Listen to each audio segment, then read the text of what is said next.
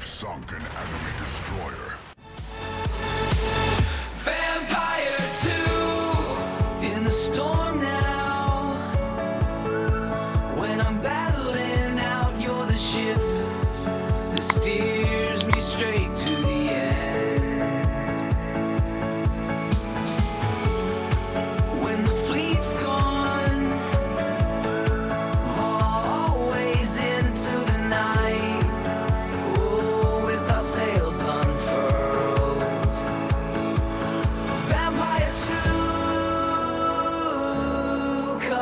through the sea,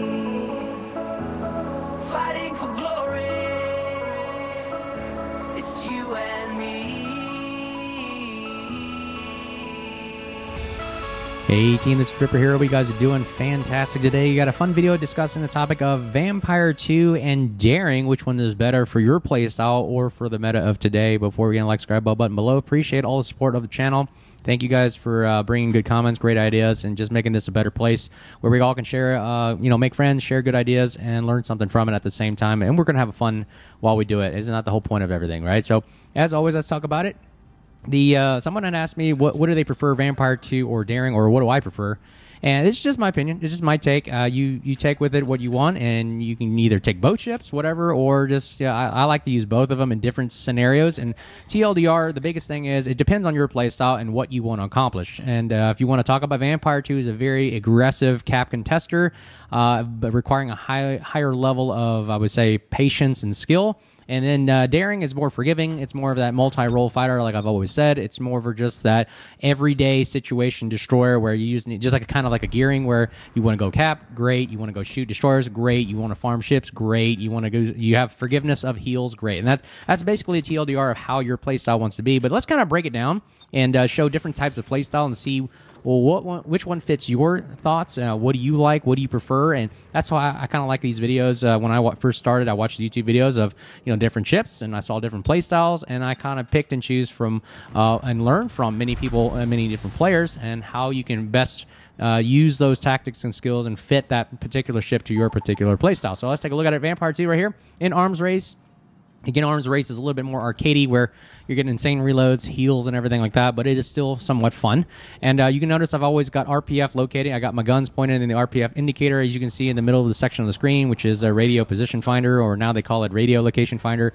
Uh, I, I like the situation awareness. So I know something is there, and I knew it. Yep, there was something there. And I'm not going to play around with the Z42. They got six kilometer hydro, as you can see.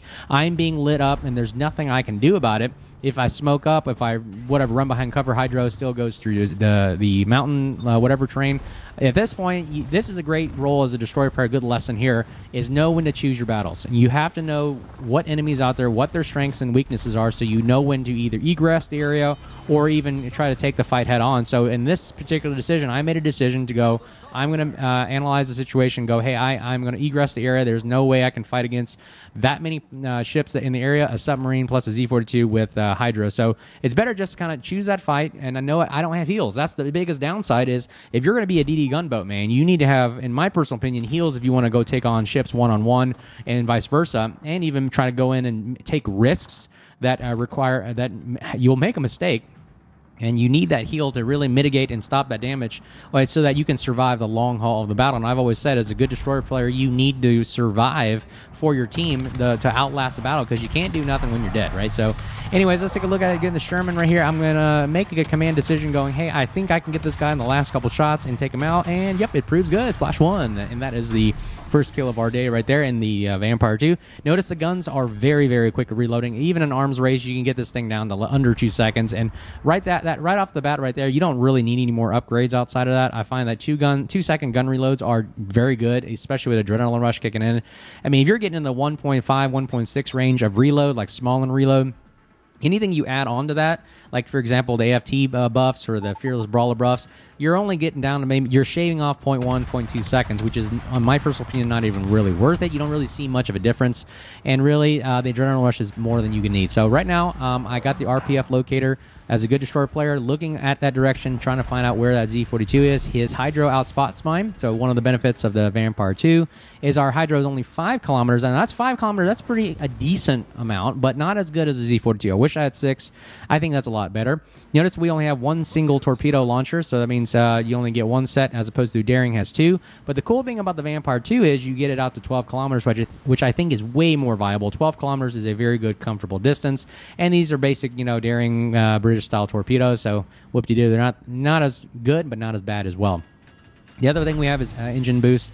And of course, the, what you're seeing right now is me using the uh, crawling smoke, which means at quarter speed, you can mo- continue moving and still be protected by your crawling smoke, which lasts a little bit longer because it's you know following you around. Uh, of course, the downside is if you do move around the map, you are spotted from the moon because you see this big wall of clouds moving, and you're like, huh, I wonder what that is. That's a Vampire 2 moving in the smoke. You can easily get radar hydro, and it's just the same as all destroyers. You got to be very careful and use it sparingly. The problem is you can't turn off the uh, smoke at will. You got to wait till it goes out. Uh, now, see again, hydro right here. It wouldn't matter if I had smoke anyways. That hydro is very, very deadly. It reveals me, especially with low health pool. I cannot play around with this, so I'm going to go ahead and disengage and get the engine boost, get me out of here. Now, the cool thing I do like about the Vampire and the Daring is it is they are kind of maneuverable. Look at how I, am juking these shells. I'm going left, right, left, right. Maybe play with the throttle a little bit, and you notice I'm taking like I mean potential damage is taken up so much because it, this thing really can maneuver very well. It's not the fastest ship, but it's a very nimble, maneuverable kind of a multi-role fighter ship that it, it does everything you need it to do. And now, if you notice, I'm holding my shot right here because I don't. I know there's a submarine in the area, and I don't want to get spotted. Right there, there are the torpedoes from the submarine. I don't know if he's on the surface or not at the moment, so I, I just want to make sure I don't uh, get shot at by some random person that spotted me. Now, here's those torpedoes I was talking about. Out to 12 kilometers, I launched it at the Bourgogne here, and uh, let's see how far I can get it. And I think I got this video. I just wanted to take a look at this. How far do these things really go and touch somebody? And you'll notice, man, these torpedoes. Look at that. They're single launches like the Daring You have the ability to do that. And they're just, I find the single launches just so random. People don't expect them. And boom, splash two. We take out the battleship from that long range distance. I, I did not expect that. You know what? I was just spraying and praying and hopefully hit something and we got something. So and always always never underestimate the power of those preemptive torpedo strikes. Notice right now again we're still low health but in arms race you can get a heal buff and that will bring it back but i'm not going to take that chance.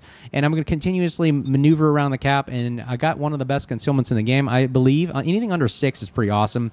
Uh, 5.8 uh, again Minigimu and Sh- uh, Shimakaze everything else man they get them down to even lower than this but there are very few and far between because not many ships can do that. Vampire 2 is still up there and one of the best concealments in the game. 5.8 is very comfortable for my book and for what I'm trying to do which is really just either be a good cap contester spotter, uh, maybe a torpedo boat if you want to call it that. But really, the big bread and butter is capping and hunting down DDs in the area, and it really does it very effectively or well. But again, you got to be careful about the pesky radar and hydro, like you've been seeing me dodge back and forth. That Z42 I got to make sure he's not in the picture anymore, and that way I can go in and be a little bit more aggressive. Just like in this situation right here, I can pop that, you know, the, this crawling smoke. If the guy goes in within five kilometer hydro, he's spotted, and he can do nothing about it other than blind fire. And then, of course, you also have other people spotting for you. Notice I'm undetected in my crawling smoke, still moving at quarter speed, but I'm able to still fire and again maintain relative safety uh, and not get shot at by just random shots from left and right that I'm not really suspecting right now. So that's the power of the Vampire 2 right there. It's really good for these kind of high risk situations if you can play it uh, correctly. Hunt, contesting caps, hunting DDs down uh, on a case by case basis, of course. And of course, I wouldn't go up against a Småland or maybe something heavier because, again, I don't have heals, right? So you don't have heals, you can't correct that damage you're going to take in that one on one brawl or even make mistakes where you're just caught in the open and just getting blasted by radar, hydro, submarines, and whatnot. So that's the biggest thing I um, I have for the Vampire 2. The thing I really like about it is gun reload. Look at the gun reload now 1.4 seconds with arms race. You can get it down to 1. Point, the, it's still under two seconds in the other uh, modes, uh, in the regular random battle mode. So it's really awesome. Just look at the reload on this bad boy right here. Just unloading on the ed- what is this? The Oh, Brisbane, yeah. Look, just amount of firepower you can unleash, and boom, he goes down as well. Splash three, three kills for the game. And again, Vampire 2, very, very deadly, great gunboat. The torpedoes, like I said, knocking one torpedo launcher down, but it can still reach out to 12 and do its thing. Uh, especially with RPF and the Hydro, it is a very, very powerful cap contester and uh, super, super powerful that reload. And it just maneuverable and does everything I needed to do. Just wished it had heals. Of course, by doing that, it would make this thing really, really powerful. The other downside is you have to grind this out. I believe it's still in the research bureau right now up with the Druid Again, this kind of this is like the sister ship of the Druid, but the Vampire 2, it just plays a different play style, different role, and again, it's a grind. You got to grind, literally resetting a line, grinding more, grinding more, and that's the downside of the Vampire 2, I believe. Now, here's the Daring.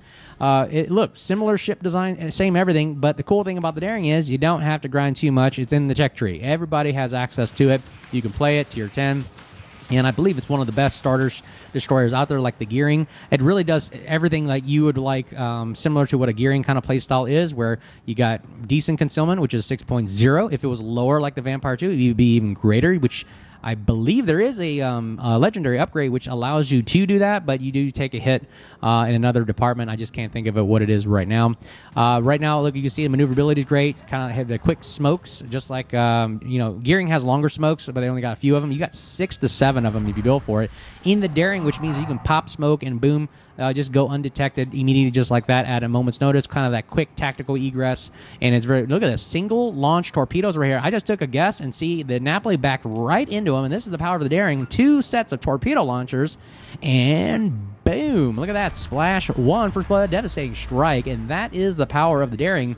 Uh, torpedoes, if you can play them correctly, again, they only go out to 10 kilometers, which means you do have to drive in a little bit closer, risk your ship, but when they do pack a punch, they pack a wallop and they come with a thunder. And that is the really cool aspect of the Daring. Now, Daring isn't much like kind of like gearing torpedoes where they go out to the 16 kilometers or you know the 12 kilometer of the vampire. So the daring is more of that close in torpedo kind of standoffish hey don't rush me. If i'm rushed i pop smoke launch torpedoes and get out of there.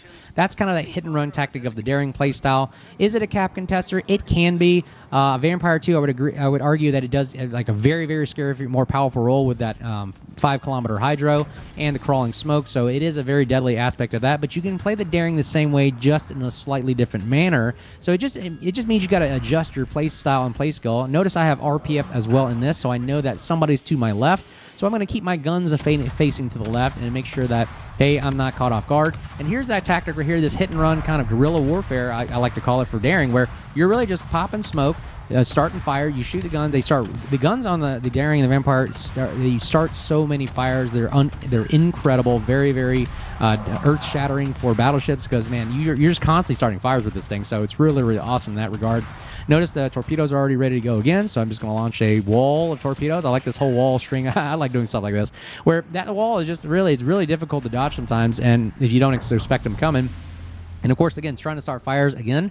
And the AP on the Vampire and the Daring are kind of very very powerful and I, I do enjoy it. Being don't the the British AP is super powerful, up to sixty degrees of uh, uh, pen angle. So that's why I do like the aspect of that role. But uh, again, the the HE shells on the Daring and the Vampire are still very very powerful and very aggressive. So and I notice also in the gearing, if I'm shooting with HE, you got to be careful because the guns are only 113 millimeter, which means they only pin 19 millimeters on HE. So notice at the midsection of the gearing there, there is a 21 millimeter um, plate of armor, which means it will shatter your HE shells.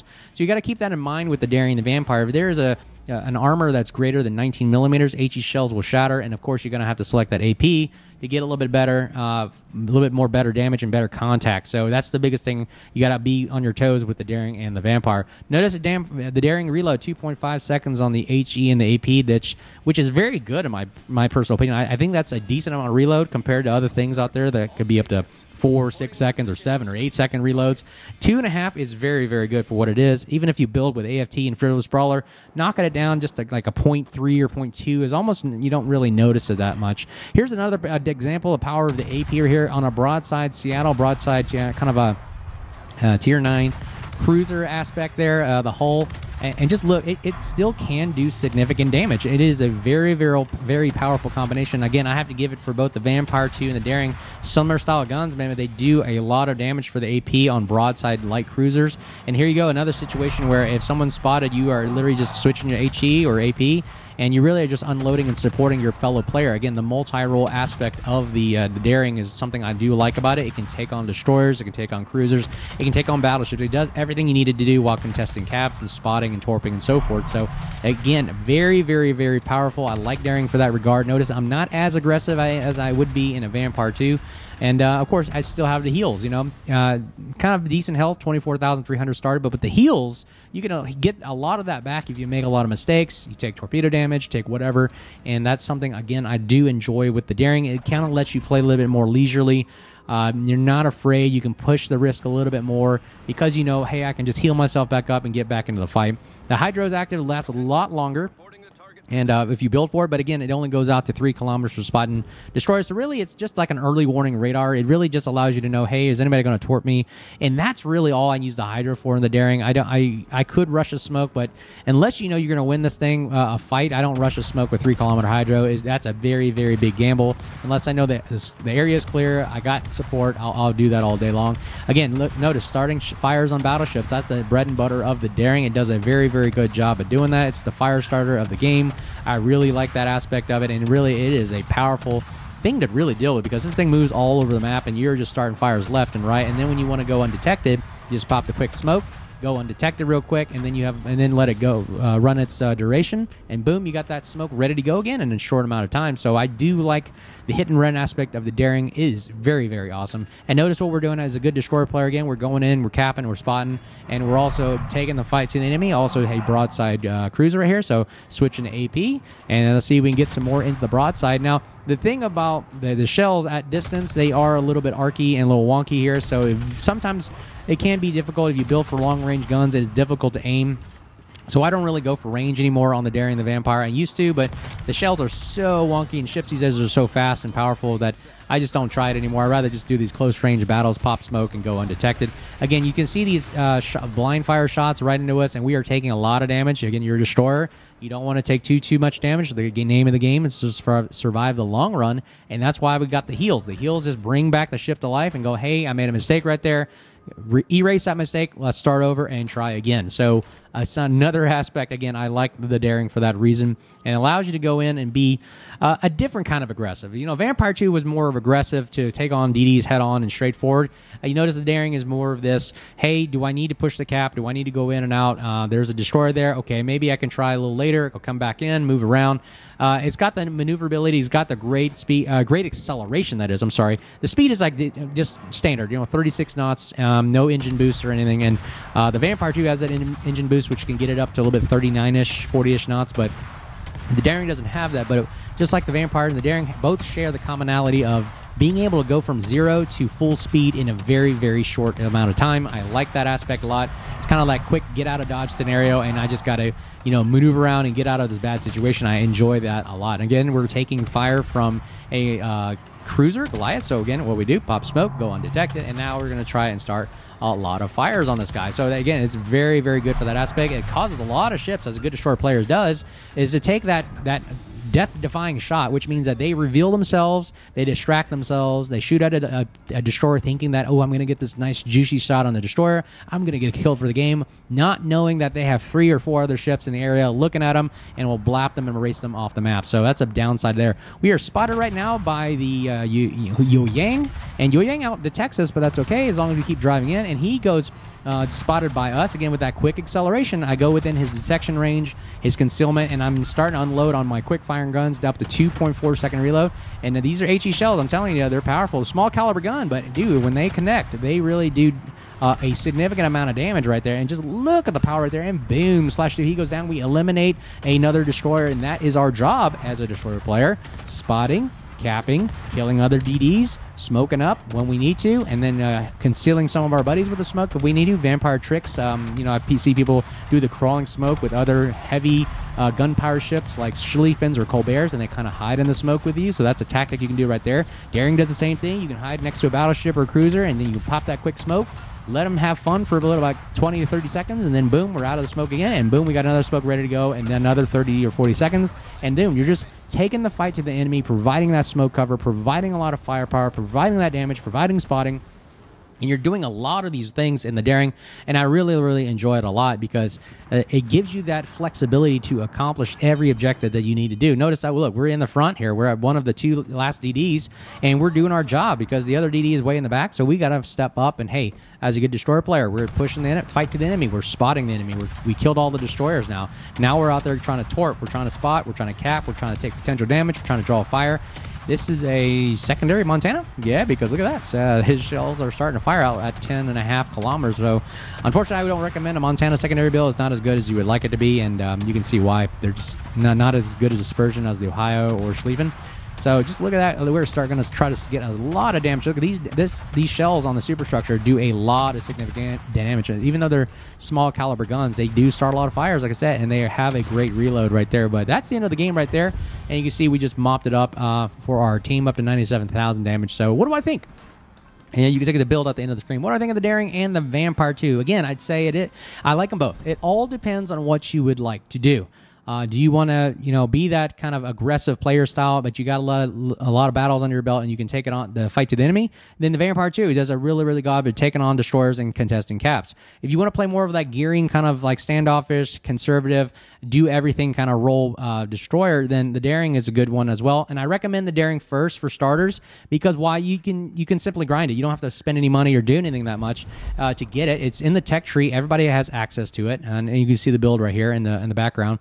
And and the other the, the problem with the Vampire too, it re- does require uh, a little bit of grinding. You do have to go to the research bureau, get the points, and then regrind, get the points there, and then of course collect those research bureau points to get the Vampire 2. So again, high cost, high um, demand on playstyle. No heals is the downside of the Vampire 2, but great gunpowder, great torpedoes, and uh, the crawling smoke. But the, the Daring, I think, is a great starter uh, ship for anybody. Um, uh, Gearing was my first, and then the Daring. The Daring was a great starter uh, destroyer role to really challenge yourself to figure out what is that playstyle, what do I do, what are my roles and responsibilities, and I really enjoy that aspect of the Daring and it answers the call very, very well. Here's an example of that AP I was talking about. Now, it's just a uh, what another light cruiser here, Buffalo, and just uh, kind of like watch what, what the AP can do to a broadside cruiser when you do play it right.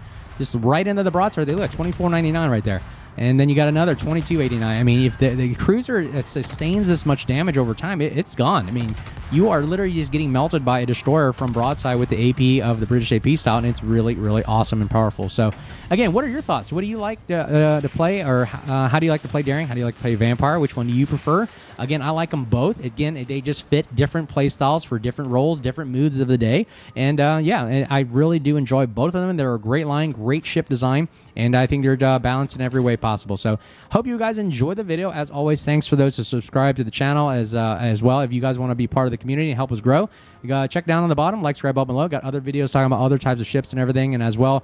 And if you guys see me out there, make sure you say hi and uh, build a better community. Help me, uh, you know, bring up the conversations, make it a friendly place, great place to learn, uh, grow friendships and relationships, and as always, have a blast doing it. So you guys stay safe, and as always, take care, and we'll see you soon. Cheers.